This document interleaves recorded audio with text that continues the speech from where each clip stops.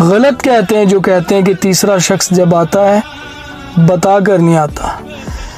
हकीकत ये है कि तीसरा शख्स आता ही तब है, जब किसी एक की मर्ज़ी होती है।